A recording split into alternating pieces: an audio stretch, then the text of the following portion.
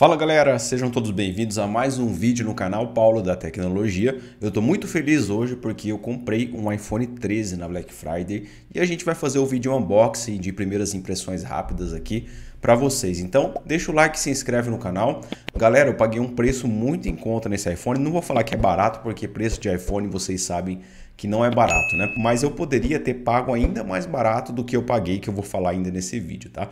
O iPhone 13 está num ótimo momento para ser comprado agora com o lançamento da linha 14 e a linha 14 tem algumas diferenças sim em relação a 13, mas não são tantas diferenças. Então passou a ser, vamos dizer assim, um bom custo-benefício para você comprar porque diminuiu bastante o preço do iPhone 13. Galera, caso vocês queiram economizar de verdade, temos grupo de ofertas no Telegram, tá aqui na descrição e no WhatsApp também. Lá eu sempre quando eu acho uma promoção para mim, para que você possa comprar também e economizar com desconto. Vamos lá, galera, olha só, a caixa dele é aquele padrão que vocês todos já conhecem, bem fininha mesmo.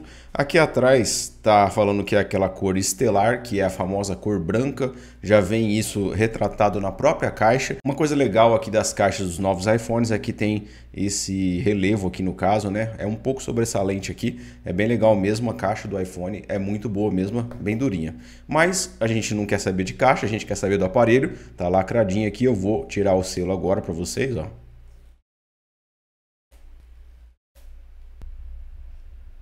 Uau! Lindo, lindo. Dessa vez eu mudei de cor aqui, galera, do iPhone, porque eu sempre comprava cor preta, né? E no caso agora eu quis mudar um pouco, comprar essa cor branca, mas galera, é muito lindo mesmo essa cor branca. No caso é estelar que chama, né? Estelar, acho que assim pronuncia. Mas eu prefiro falar que é branco, porque o que eu tô vendo aqui é branco. Comenta aqui embaixo se você acha que branco é a melhor forma da Apple chamar também. Nossa, muito lindo mesmo. E no caso aqui, ele vai deixar a marca de dedo mas só quando contra a luz você olhar que você vai perceber. Uh, o preto que eu tenho aqui da minha esposa, que é o iPhone 12 no caso, deixa muito mais marca de dedo do que esse aqui. Olha só, vou deixar ele aqui de lado, ó. E vocês sabem que unboxing de iPhone não vem muita coisa lá, né? Olha só, aqui é o cabo, é aquele padrão USB-C que vai na ponta do carregador. Com Lightning, a Apple não muda, infelizmente, essa entrada Lightning bem defasada mesmo. E esse cabo branco aqui, com o tempo, também ó, vai ficando bege de tanta sujeira que pega. Depois disso aqui, ó, tem esses manuaizinhos da Apple. Manda com a chavinha de chip, né? Eu já vou deixar essa chavinha de chip aqui do lado, porque a gente vai ver a gaveta. E no caso aqui tem um adesivo, que pobreza, né?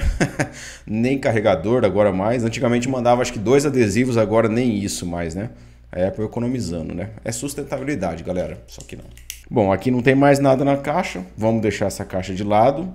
Vamos deixar isso aqui, porque o que mais nos importa é o aparelho, né? Vamos arrancar esse adesivo de papel aqui agora, porque antigamente era plástico. Uau, lindo, hein?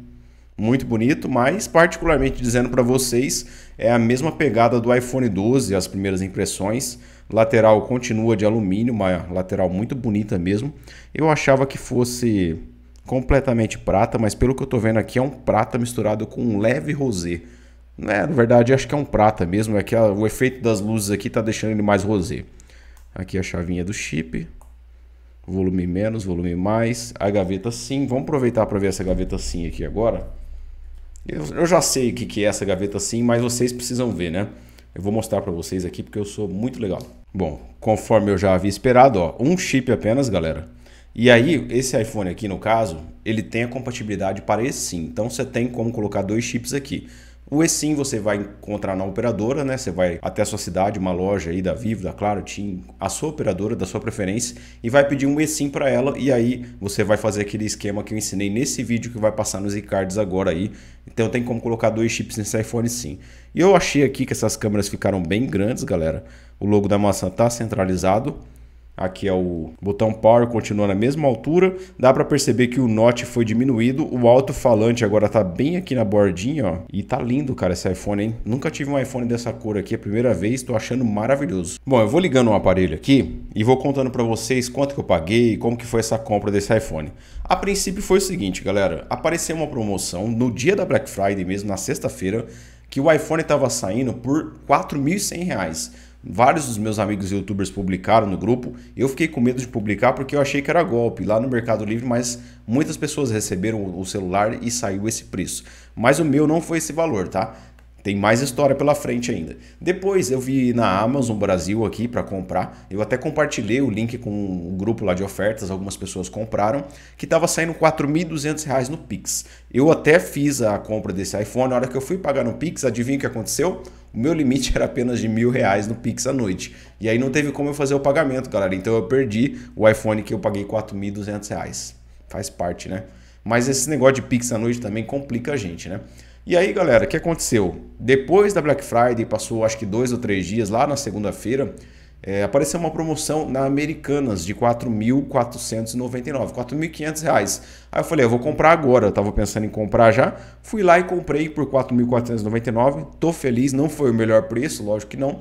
Mas se você considerar o preço que se pratica no Brasil, na média das lojas e até mesmo no varejo online, eu paguei barato sim. Comenta aqui embaixo o que você acha desse preço aqui. Vou fazer as primeiras configurações aqui para vocês e já já a gente volta com mais informação. Muito bem, já configurado aqui para o primeiro uso, não puxei backup nenhum, é só mesmo para a gente conversar um pouquinho sobre o iPhone 13. Já percebi o seguinte, segurando ele um pouquinho aqui, fazendo as primeiras configurações, que sim, ele é um pouco mais grossinho e mais pesado do que o iPhone 12 da minha esposa, que é o iPhone que a gente tem aqui para fazer os testes. E galera, eu gostei demais dessa pegada, é a mesma pegada do iPhone 12. Para mim é a mesma coisa que eu estivesse segurando o iPhone 12. Eu percebi uma leve mudança também aqui no norte, né? O aproveitamento não mudou porque a Apple não colocou mais nada desse lado direito e do lado esquerdo também. No caso aqui a central de controle do lado direito, aqui as notificações. O brilho da tela eu achei que ficou um pouco mais forte sim do que em relação ao iPhone 12, mas pouca coisa, não foi muito alterado não. Aqui a gente vai ver agora qual que é a versão do iOS que está no momento. Tem atualização para 16.1.2 aqui já, mas aqui ó, tá na versão 15.6.1, galera. Então tem que atualizar isso aqui depois, trazer as novidades para vocês aí, conforme a gente vai usando. Esse aparelho tem um processador A15 Bionic, que é o sucessor do A14 Bionic. É lógico que não vai ter muitas mudanças de velocidade, ele vai abrir muito rápido os aplicativos, assim como o iPhone 11, o iPhone 12 também abre, e a câmera dele aqui no caso, as três câmeras continuam também é, 12 megapixels, são câmeras excelentes, ó, dá para ver pela tonalidade da pele, pelos detalhes da nitidez. Câmera traseira também é um espetáculo, galera, ó, o foco é muito rápido mesmo, consegue pegar detalhes muito top.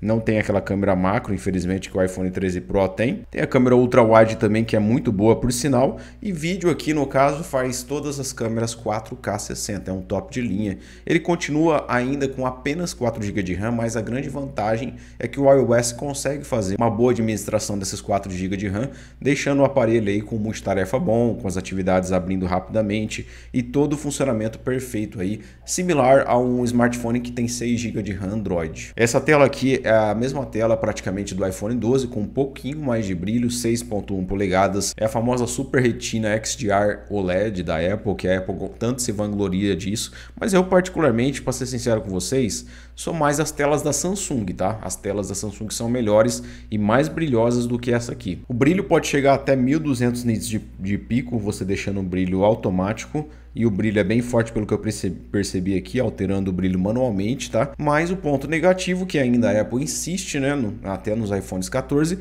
é deixar a tela 60 Hz na versão mais simples dos iPhones. Isso aqui irrita os usuários, na minha opinião me irrita também, porque até mesmo você pegar um Xiaomi, hoje tem 90 Hz a tela de, de taxa de atualização, e a Apple insiste. É um painel ruim? De jeito nenhum. É ótimo, mas poderia sim colocar pelo menos 90 Hz aqui para deixar o iPhone mais legal de mexer, com experiência diferenciada e fica muito mais diferenciada mesmo. Já tive o iPhone 13 Pro e posso garantir isso aí. O peso dele, ó, 167 gramas, não é tão pesado, mas não é tão leve que nem o iPhone 12 também. Tô falando do iPhone 12 aqui, mas nós iremos fazer vários testes com ele. Vou testar a câmera dos dois também para a gente ver se tem diferenças. E a bateria, muitas pessoas falam realmente que é o grande ponto ponto forte desse smartphone por ter 3.240 mAh. E por mais que seja um número baixo para celulares, para smartphones, é, a Apple consegue lidar muito bem com isso. Pelo menos aí eu acredito que no mínimo umas 8 horas, 7 horas e meia de tela a gente consegue aqui com o iPhone 13. Vamos fazer os testes primeiro para a gente ver. Bom, galera, eu vou puxar meu backup aqui depois para fazer os testes. Vou deixar com a minha esposa um tempo também para ela ver, mas eu já gostei muito dessa cor. É diferenciada, é bonita a cor. O smartphone é lindo também, muito legal. Gostei demais Mas assim, falar para você que mudou muita coisa do iPhone 12, não mudou, mas às vezes compensa você pegar o iPhone 13 porque o preço em relação ao 12 tá pouquinha diferença, viu? Em breve muito mais vídeos para vocês aqui no canal de teste. Se inscreva para você não perder, hein?